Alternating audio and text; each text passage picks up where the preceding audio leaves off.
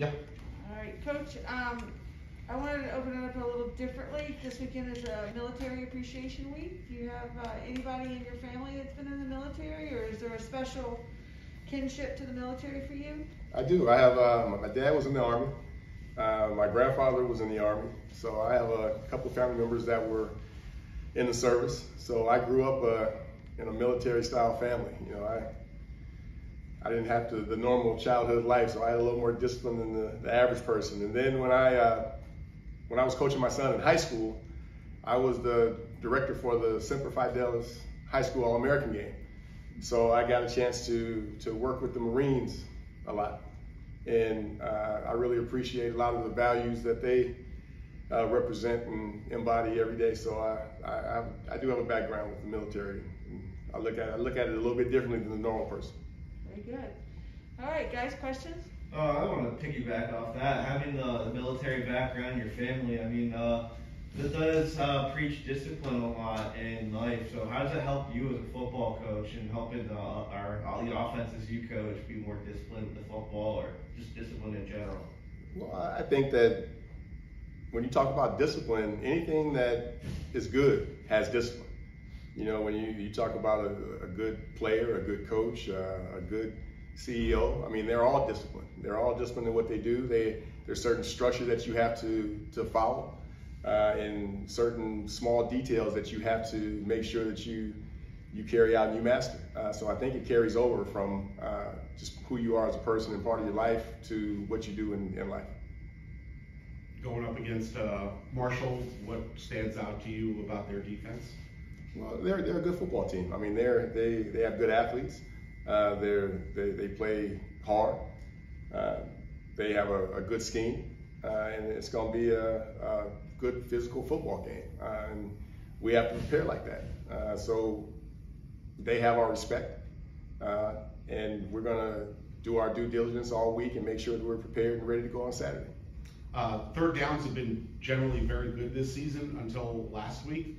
Um, were, you, were you in a lot of bad down and distance, or was there a lack of execution that you'd like to correct this week? Well, we, we were in more uh, long down and distances than we than we wanted to be, but uh, we knew going into that game that they were uh, a very good defensive football team in, in third and long situations, uh, just because of the type of style and defense that they played. So in that situation, we really did not push the ball down the field. You know, they were a team that had uh, cover zero blitzes that we, we made sure that we prepared accordingly. So uh, they were good. We were not as good as we wanted to be, but one thing we did not do is we did not get uh, hit by their, their pressures or their cover zeros. And uh, we didn't put ourselves in bad situations and take sacks. So we allowed ourselves to punt, uh, use use Hayball and, and you know, who's a weapon for us, and uh, try to change field position. So the one thing that we did not do was turn the ball. So uh, I think that was a big key in us winning that football game. So now uh, FAU is on a 12 game winning streak at home. Marshall's 7 and 1 all time against FAU. One of those things has to give. Is there a lot of pressure going into this game against this particular opponent or just going into the same mindset as before? Well, we're treating this as uh, we got to go 1 0 this week. Uh, Marshall just happens to be uh, that team this week. And uh, things have not gone in the past, but a lot of us have not been here. So uh, we're preparing hard, uh, expecting a good football game against a good football opponent. Uh, and uh, our motto is we don't lose at home. So we're going to try to do our best to make sure we keep that keep that streak going. And how important is it to have an opponent like this at home rather than going on the road, especially in a place that all these guys are comfortable playing in, in front of the fans that all these guys love playing in front of? Well, we, we always appreciate uh, playing at home and uh, being here in our stadium. Uh, our guys feel a certain comfort level when we do that. Uh, I think they're going to be ready to go, but we're excited about the opportunity. And then uh, Marshall's passing offense has been, or passing defense, I'm sorry, has been really good.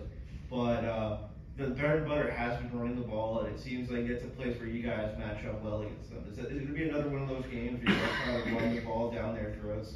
Well, we want to be physical. Uh, we feel that everything we do starts with the run, run game.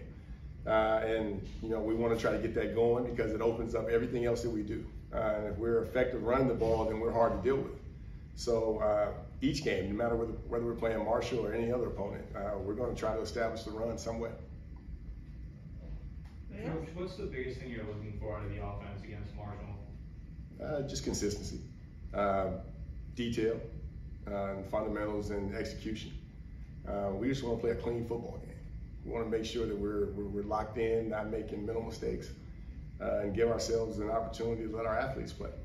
Uh, and if we can do that, I think we'll have a good chance to win this game. I my, my brothers in the military, Oh, wow, yeah, um, Navy. okay. I got some family relatives in the military, some sisters, some blood, not blood, but Right. family members. So when you go into a game that's a military appreciation game, is there an added, um, thought process that goes into the game for you representing them? I feel like I just, um, I pray for people that, you know, help, help along the way, make, make the country a better place. Very good.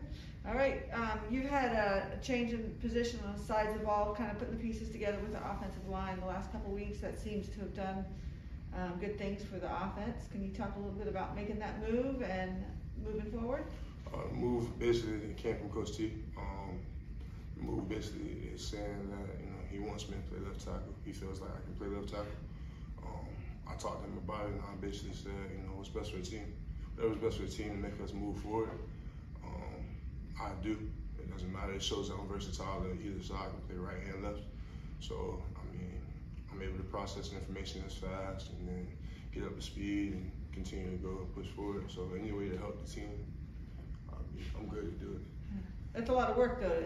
People think it's an easy shift, but you're using a different side of your body or, I mean, you know, you gotta do what's like I said, you gotta do what's best for the team. No matter what, no matter what's the team, team, team, always a team. So if it helps the team get better, and you know, no matter how hard, how difficult it is, I'll do it.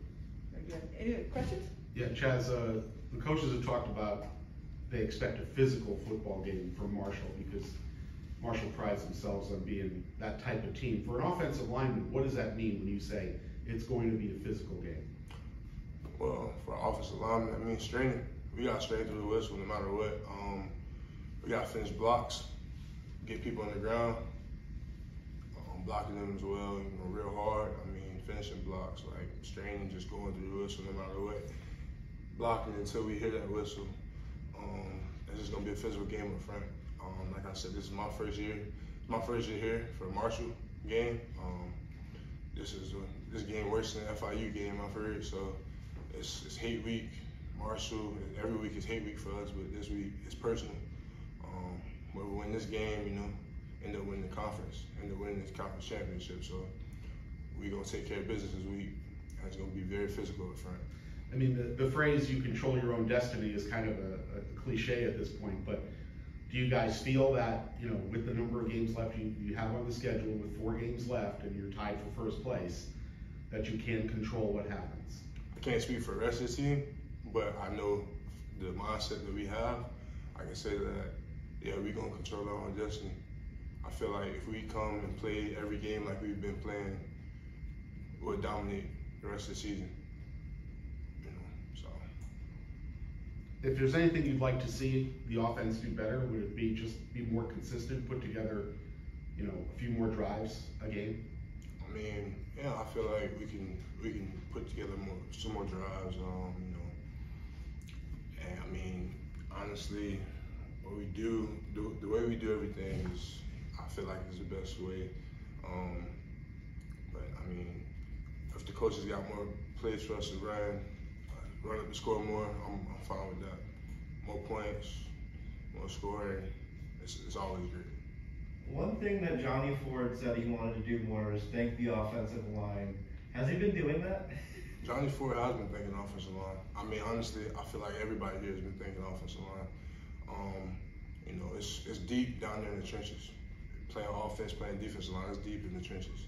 Um, you know, with offensive line, you sometimes you always get the blame for things, or you you know when things go good, you get the praise for things. But playing offensive line, that's what you're gonna do, and that's something that I have to grasp playing this now. That you're gonna get you blamed for some things, you're gonna get praised for some things, but at the end of the day, it's about the work that's being done in the trenches because on, in order to win this game, you got to go through the trenches to win this game. So And then this next game is gonna be another battle through the ten trenches, and uh, another big thing that has been uh, a priority for you guys has been running the ball. So, How is it preparing for that and trying to get the guys going again on the ground?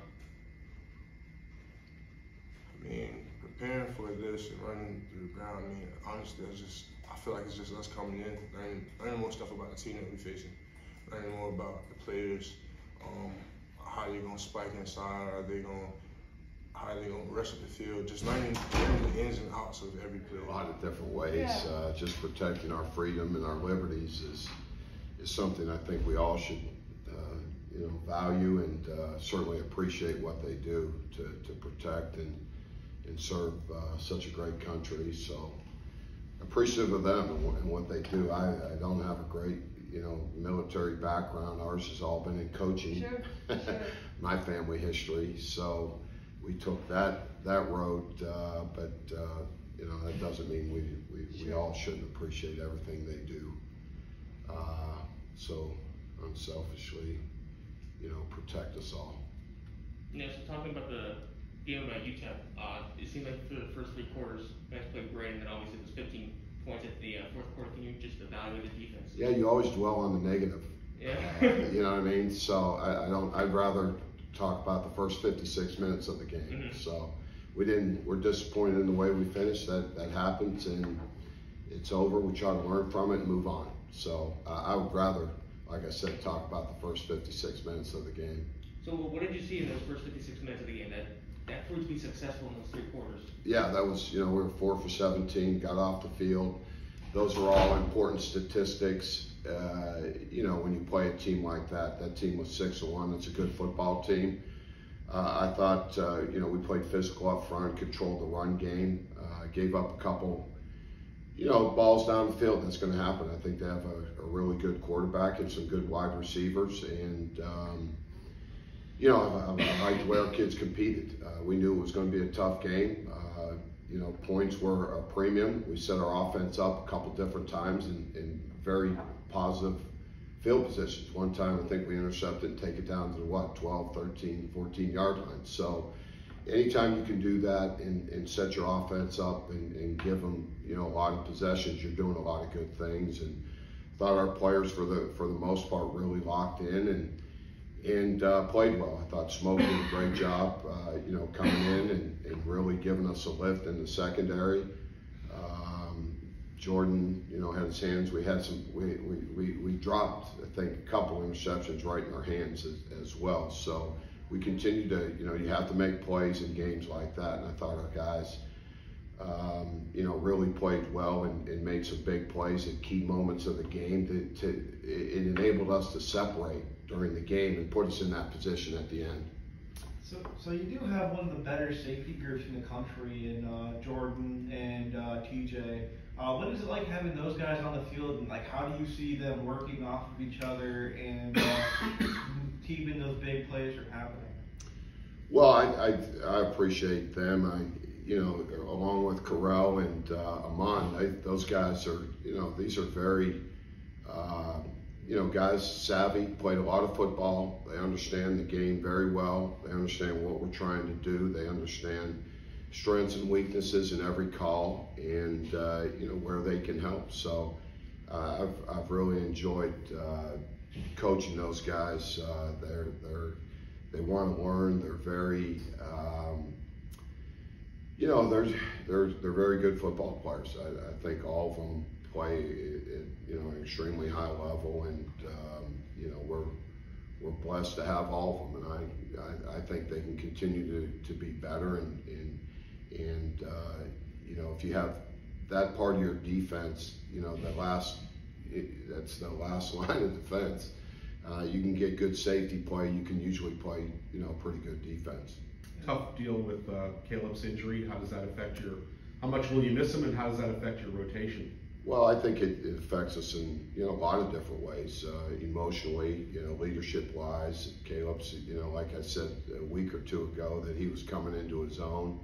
He's put a lot of time into this. He's you know had to adapt to a lot of different styles of defense, and you know for him, I, I think he was starting to become you know more reactive and instinctive in his play, and it's it's shown on the field. So you know that's disappointing for him and, and certainly for us. But um, you know you just gotta, you know we, we I, I think Coach Thompson's done a great job of, you know, getting players ready to play, and Kiki and, um, you know, Eddie and, and, and Anthony. Uh, so, you know, all these guys are, are good, and we'll have to bring, you know, keep developing a, a, a player or two, uh, a younger player that hasn't, you know, had the reps, but we got to get somebody ready. So, but I, you know, we'll, you know, we'll, we'll adapt and, um, you know, hopefully, you know, keep these other guys healthy.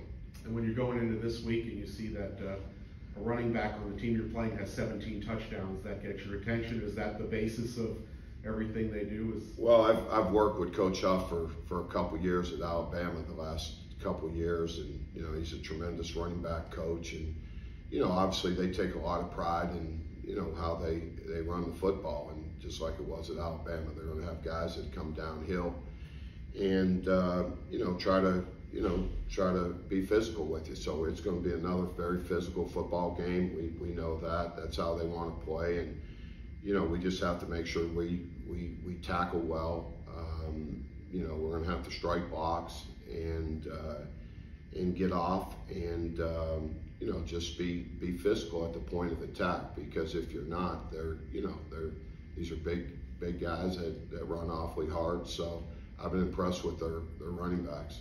You know, I know you said you didn't want to focus on those last 15 minutes, but uh, kind of looking towards Marshall, how are you going to use those 15 minutes to maybe see much more better against an offense that's averaging 500 or total yards? Well, I could have made some better calls, certainly. Uh, you know, put our corners in better situations. I think that's what you're always, you know, thinking of. How could I, I help this guy in that situation? You know, we we dropped eight guys a lot in that game uh, to try to help, but you know, in that that situation, you know, we we didn't. We we rushed four and um, just put our corner in that last, you know, touchdown in a, you know, not a tough situation, but um, we didn't have as much help as, you know, maybe we, we could have, you know, helped those guys out in, in some some other ways, and that's a, you know, that's a fundamental error, coaching error on, on our part, and you know, it's something that we have to look at and get better because of it.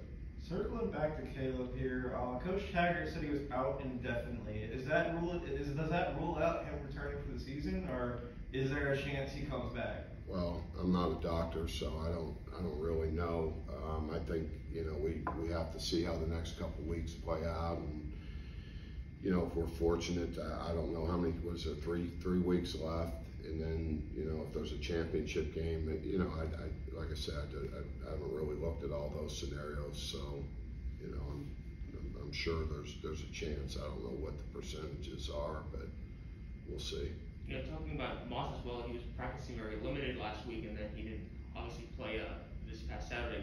Have you seen him maybe get more of a production, more in practice this week to maybe set him up to play uh, this Saturday? Uh, no. You talked about the ad- adaptive ability for this team. Um, every week, somebody else in the defense stands out.